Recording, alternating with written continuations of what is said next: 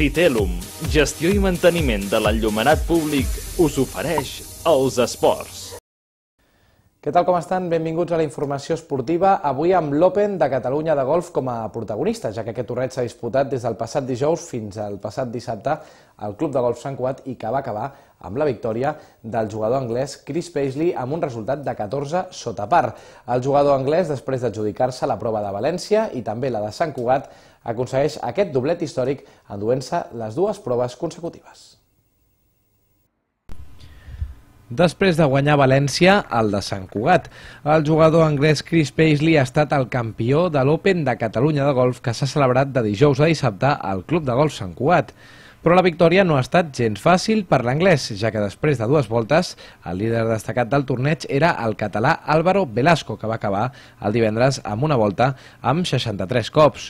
Tot i el liderat, Paisley va sortir al camp disposat a fer un bon partit i acompanyat del jugador andalús José Lorca en la penúltima sortida del dissabte.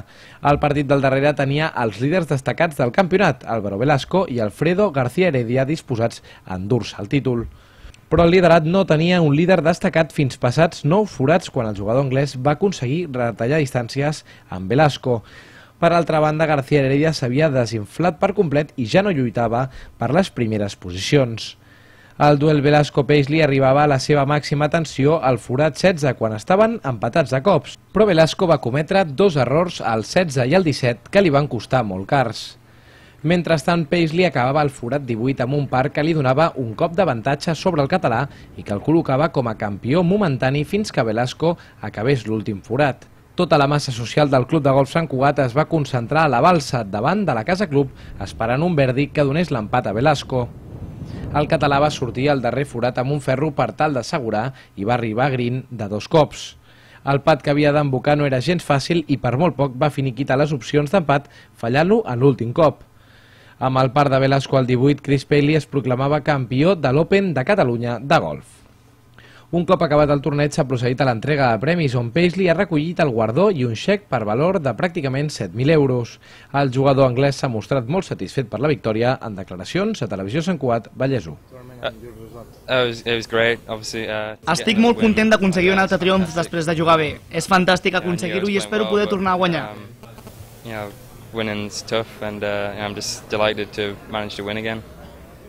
Un dels altres protagonistes a l'entrega de premis ha estat el català Álvaro Velasco, que ha quedat en segona posició i que ha valorat molt positivament l'actuació als micròfons d'aquesta casa. He començat una mica fluixet, he comès alguns errors, però bueno, al final he pogut fer alguns verdis que m'han permès la possibilitat d'estar allà i ha sigut una pena.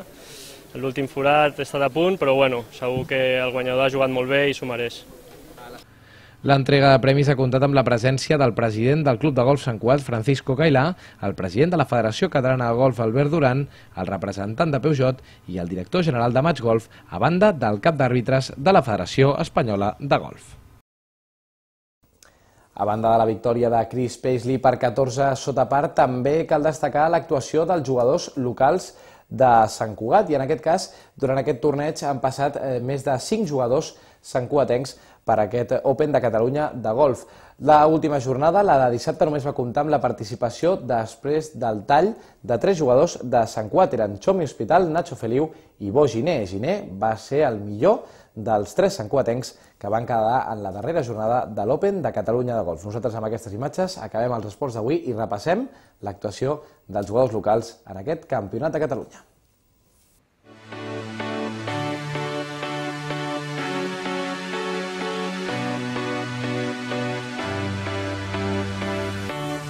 I'm looking at an angel and believe